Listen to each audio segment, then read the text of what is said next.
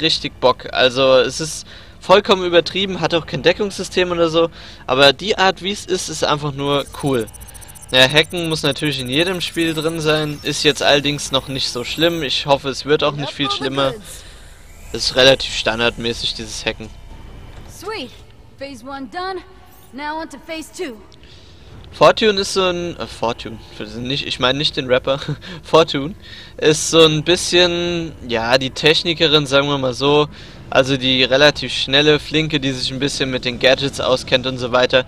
Jetzt am Anfang merkt man jetzt vielleicht den Unterschied zwischen den einzelnen Agenten an sich noch nicht so krass. Aber ähm, ihr könnt im Laufe des Spiels die Fähigkeiten weiter ausbauen und dann ist es schon ein Unterschied, ob ihr jetzt den oder den Agenten auf den Einsatz mitnehmt. Let's go kill us a bad doctor. Hell yeah! Franchise Force is back in action! Franchise what now? Franchise Force. I gave us a nickname. You can't just give yourself a nickname. Not just me. Us. Jetzt haben wir sie. Und jetzt haben wir quasi äh, die Möglichkeit zwischen den dreien durchzuschalten, indem wir die Pfeiltasten drücken. So können wir die Fähigkeiten von denen kombinieren. Das geht also ruckzuck, äh, wenn ihr sagt, ich will jetzt Hollywood spielen. Hollywood ist eigentlich so mein Lieblingscharakter, obwohl er eigentlich der, der äh, vorhersehbarste von allen drei ist, aber der ist irgendwie so eine gesunde Mischung. Ähm, und da könnt ihr dann ruckzuck zwischen den einzelnen Typen durchwechseln. Hey, Fucker! Asshole! Okay, das war jetzt ganz schön assi, den Typen da umzubringen. Wo sind hier die Gegner, hä?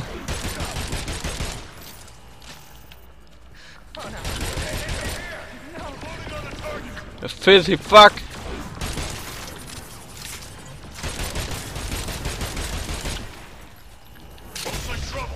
Die! Und am besten verhindert ihr es getroffen zu werden, indem ihr einfach ganz blöd durch die Gegend hüpft, weil es gibt wie gesagt kein Deckungssystem braucht man eigentlich auch in den meisten Fällen nicht, aber gerade am Anfang verliert man schon relativ schnell Leben, habe ich gemerkt. Wenn man einfach so reinläuft, ohne jetzt ein bisschen drauf zu achten, werde ich getroffen oder nicht. Au. Asshole. Natürlich kann auch jeder von den Charakteren Nahkampf, was relativ gut ist, weil der Nahkampf ist sehr stark und äh, gerade wenn ihr einen Gegner dicht vor euch habt, was öfters mal vorkommt bei der Art, wie man hier spielt, aua, dann ähm, kann man den damit relativ leicht mit einem Schlag ausnocken. Jetzt gucken wir nochmal hier rum, ob hier irgendwie ein bisschen was rumliegt. Nö, hier liegt nichts rum. Nur ein bisschen was, was wir explodieren lassen können, weil es Spaß macht. Und äh, dann gehen wir einfach mal weiter. Schau mal. Ah, Moment, stopp. Da oben war da noch irgendwas? Hatte ich da. Sind da nicht auch Gegner rumgelaufen? Nö, anscheinend nicht. Okay, scheiß drauf.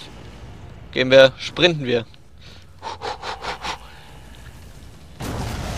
Call dibs on taking a selfie with Babylon's corpse.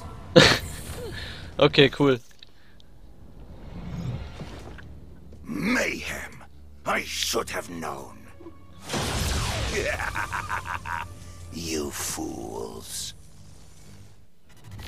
Overcharging the Dominator core. It's something a child would do. Do you have any clue as to how much danger you put yourself in? Of course you don't. Why are you even here? Persephone's sending her dogs in to do her dirty work, eh? Well, you are too late, I'm afraid. Just a few more moments, and you will not stand a chance against me, the Ministry of Pride, Legion, or the Morning Star. Was that ad-libbed?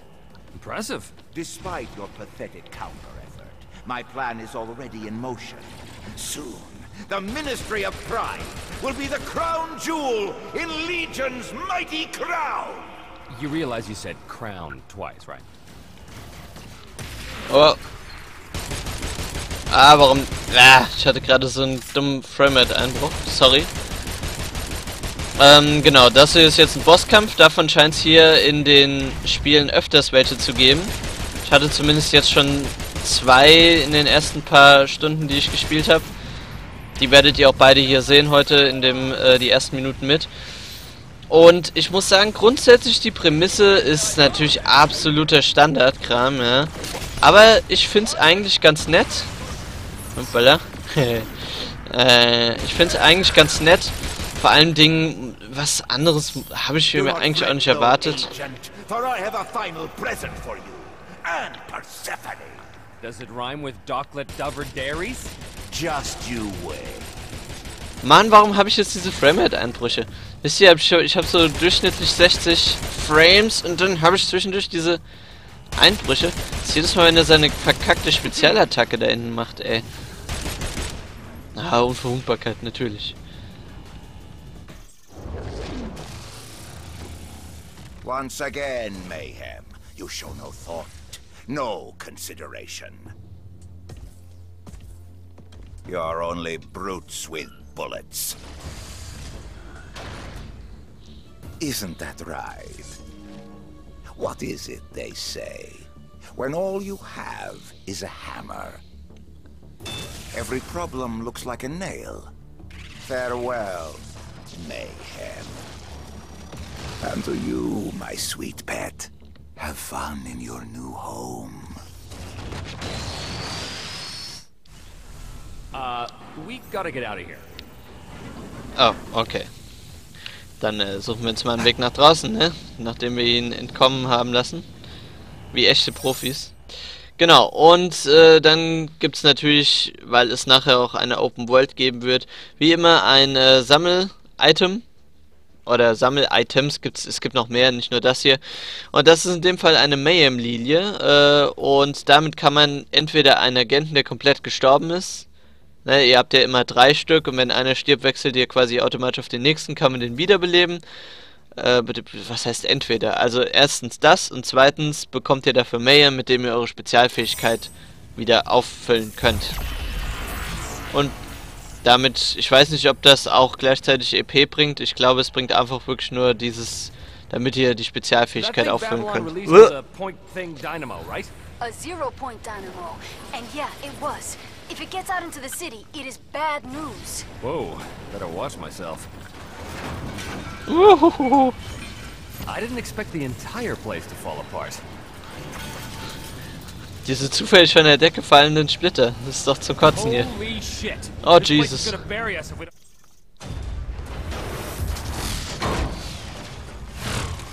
No way I'm gonna catch that dynamo moving this slow. Fortune, see what you can do. On it. Much better. Uh-uh, I ain't dying because of Hollywood's fuck up. Get in here, pretty boy. Wait, what? Why me? Cause you broke the bear, that's why.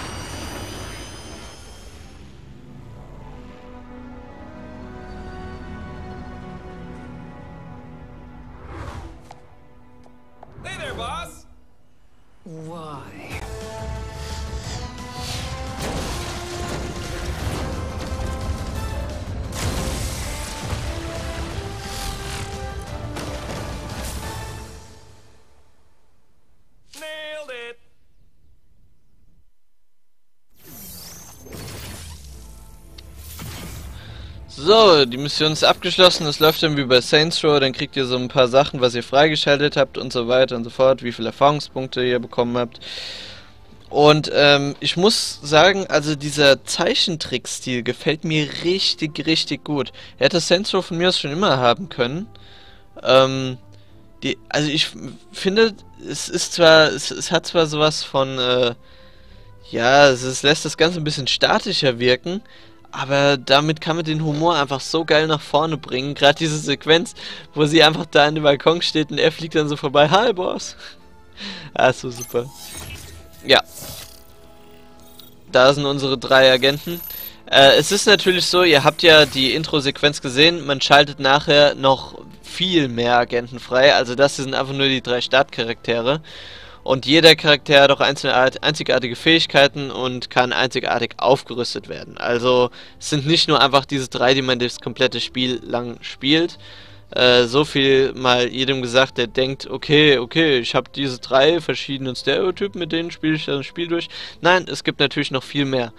Und nochmal zur Prämisse, um da zurückzukommen, mir gefällt grundsätzlich die Idee eigentlich richtig geil, dass es so ein Team aus Guten gibt und so ein Team aus Bösen. Alles Charaktere, die so eigene Persönlichkeiten haben. Vielleicht entwickeln die auch eigene Fäden untereinander. Und man hat dann immer die Möglichkeit eben Also allein diese ganzen Typen, die da in diesem einen Rush in der Intro-Sequenz kamen von den Bösen, ne? Ich habe allein schon Bock, gegen jeden einzelnen von denen in so einem Bosskampf anzutreten. Das ist bestimmt richtig cool. Und ja, wir haben ein neues Gadget freigeschaltet. Pulverfass für äh, Fortune. Fortune. Fortune? Fortune? Äh, ja. Also das sind im Prinzip äh, die Spezialfähigkeiten. Ne? Die Mayhem-Fähigkeit bleibt immer gleich mit dem Roboter, aber die Spezialfähigkeiten, da schalten die Charaktere ähm, manchmal welche frei. Wie zum Beispiel hier das, äh, dass sie mit dem Pistolenschuss, der bleibt grundsätzlich gleich, aber in anderen, etwas andere Wirkung. Das, äh, ihr wisst, was ich meine. Es hat einen kleineren Wirkungsbereich, verursacht aber für mittelmäßigen Schaden. Äh, und die Schilde laden, laden, laden sich vollständig auf. Mein Gott, ich sollte es einfach euch lesen lassen und nicht so viel selbst lesen. Ach Gott, nee.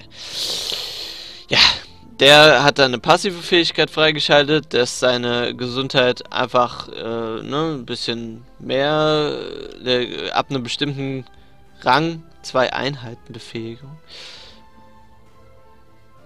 ich, ich weiß es jetzt nicht. Ich glaube, das ist dann einfach, dass er schneller seine Mayhem-Fähigkeit auflädt. Ich bin mir nicht sicher.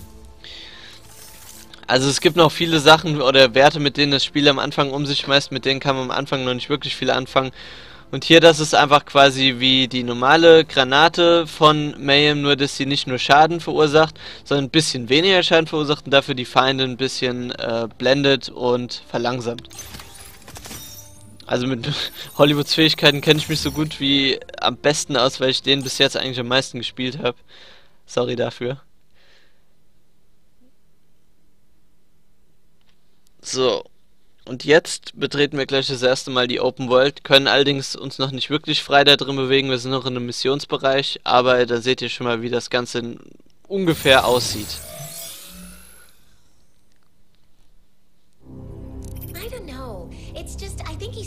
like a sister than a woman, you know? What's your opinion on intra-agency romance, Friday? Me? Why? What did you hear? Oh, thank goodness. Hold on. What's this? Oh dear. What's up? Dunno. I'm picking up a massive dark matter energy signature. Uh, Friday, you there? Yes, hello? Agent, what's going on? Yeah, so I don't think getting Babylon is gonna be as easy as we thought.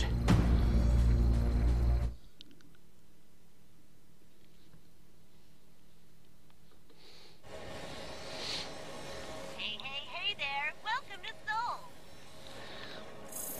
Und da sind wir. Wait, what happened in that lair? We found D-Babs, but he unleashed one of his glowing orb things into Soul. From what I'm seeing, that dynamo is channeling enough energy to level Soul. I do not care about the dynamo or Soul. I care about Dr. Babylon being dead. Persephone, babe, don't worry. Friday and I will have this wrapped up in no time. You better, Agent. You better. Wir befinden uns in Seoul. Ähm, sieht ein bisschen anders aus als vielleicht in der Realität. Wer Seoul nicht kennt, das ist die südkoreanische Hauptstadt tatsächlich. Ich weiß zwar nicht, warum sie sich ausgerechnet dafür entschieden haben, aber es ist ein relativ unverbrauchtes Setting und die Stadt sieht verdammt geil aus. Also überall, alles was ihr hier seht, das ist frei begehbar nachher. Ne? Es ist quasi eine Open World. Ich weiß nicht, ob man auch schon auf die Karte, man kann schon auf die Karte zugreifen. Ich kann mal ein bisschen rauszoomen. Ich glaube, das ist jetzt nur hier der erste Stadtteil. Ich bin mir noch nicht ganz sicher. Ähm, hier oben ne, diese ganzen Hochhausdinger, hier ist so eine Art Stadion und sowas. Also es ist schon relativ viel zu entdecken. Und äh, das ist quasi äh, die erste Open World, die einen hier in dem Spiel erwartet. Keine Ahnung, ob es noch andere gibt oder ob das die einzige ist. Aber die hier ist auch schon optisch sehr, sehr geil, muss man dazu sagen. Ja, dann habt ihr gerade eben natürlich gelesen, dass die Agenten aufgestiegen sind. Habt ihr ja auch dann in dem äh, Endscreen gesehen von der Mission. Und dazu geht ihr dann auf Team und da habt ihr dann hier die Übersicht über die Agenten, die ihr momentan ausgerüstet habt. Also die drei, die quasi dabei sind. Und da könnt ihr dann auf A, also ihr könnt die Agenten dann jeweils auswählen und auf A könnt ihr dann hier durchwählen zwischen den einzelnen Sachen und ich erkläre euch das jetzt mal ein bisschen. Gadgets, das ist wie gesagt das, was wir gerade eben nach der äh, Mission freigeschaltet haben. Ich denke mal, das schaltet man durch Crafting frei. Ja, Crafting gibt es auch. Ähm, und durch Missionen oder wenn man es irgendwie auf der Open World findet oder so. Also dadurch schaltet man diese Gadgets frei. Und das sind eben so Sachen wie hier, ne, das unterteilt sich dann immer in unsere Spezialfähigkeit, in unsere Waffe und passiv. Und Spezialfähigkeit haben wir gerade eben für Hollywood hier diese rote Teppichbombe gefunden, die quasi nicht einfach nur so äh, großen Schaden anrichtet, sondern mäßigen Schaden anrichtet und die Ziele blendet. Das rüsten wir jetzt einfach mal aus. Wir haben für die Waffe noch nichts gefunden, auch passiv noch nichts für ihn. Und dann gibt es hier natürlich noch Verbesserungen. Wir sind in der Stufe aufgestiegen, haben also zwei Stufen, äh, zwei Punkte zur Verfügung, die wir einsetzen können für jeweils vier Fähigkeiten. Das ist okay, wenn man bedenkt, dass jeder Held andere Fähigkeiten hat und wir bei jedem Held quasi skillen müssen. Oder bei jedem Agenten. Und äh, hier das mit dem Teambonus habe ich nicht so ganz verstanden, da es ja keinen Koop gibt. Ähm, ich habe keine Ahnung, was das jetzt genau heißen soll mit dem Teambonus. Äh, vielleicht, wenn er mit bestimmten Leuten im Team unterwegs ist, dass er dann irgendwie mehr Mayhem bekommt. Ich habe keine Ahnung. Ähm, was ich beim, bei äh, Hollywood eben cool finde, ist die Mayhem-Fähigkeit. Deswegen werde ich die auch weiterhin ihr skillen. Habe erstmal zwei Punkte draufgesetzt, dass die deutlich länger geht, als es vorher der Fall war. Und ähm, Kernverbesserungen Dafür müssen wir solche, wie heißen die Dinger? Ich weiß es jetzt gar nicht. Also Kerne auf jeden Fall, die können wir entweder craften oder wir können sie finden. Und das sind eben so Sachen, das sind einzigartige Fähigkeiten, die der Charakter noch zusätzlich lernen kann. Ne? Also äh, diese Kerne sind relativ selten und braucht auch relativ lange, bis man die gecraftet hat. Und äh, es gibt quasi auf der Open World verteilt, habe ich auch schon gesehen, solche kleinen Splitter. Und wenn man zehn Stück von denen hat, bekommt man einen Kern. Ich glaube, man kann die auch irgendwie craften.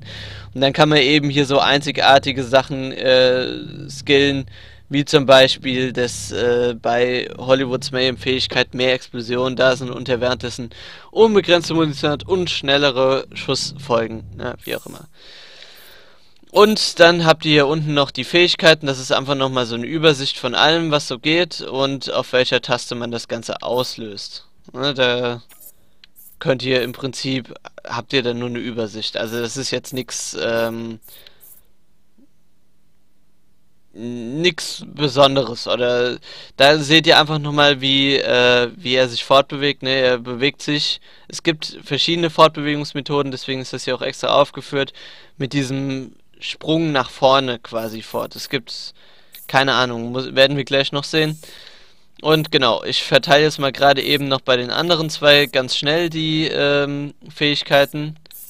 Ich, die Gadgets, ich mache das jetzt einfach mal wirklich im Vorbeigehen. Klingt jetzt ein bisschen doof, aber ähm, wir haben ja nicht so viel Zeit jetzt, oder ich will das ja auch nicht unendlich in die Länge ziehen. Hier machen wir mal bei ihr gegen die Überhitzung. Dann hier Kernverbesserung haben wir sowieso noch nichts. Ein Hardtag, der kriegt hier die, okay, Teleharpune hat er sowieso schon, der hat eine passive Fähigkeit freigeschaltet, das war das. Dann kriegt er die einmal ausgerüstet und noch Verbesserung. Was könnte er denn, was könnte er denn für eine Verbesserung bekommen?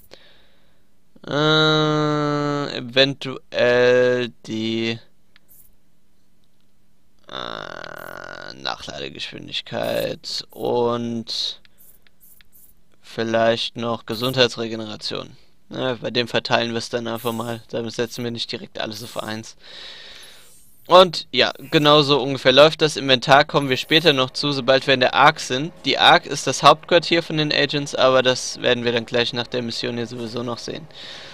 Jetzt müssen wir erstmal gerade um, uns um unsere Mission kümmern. Ich weiß gar nicht, einfach mal ein paar Schritte nach vorne gehen. Fahrrad können wir leider nicht benutzen, steht nur so da rum. Und ist ein Gegenstand, den wir durch die Gegend schubsen können. Ah ja, genau, jetzt kommt schon was. Hier ist das Ding, mit dem wir aus der Basis raus sind. Uh.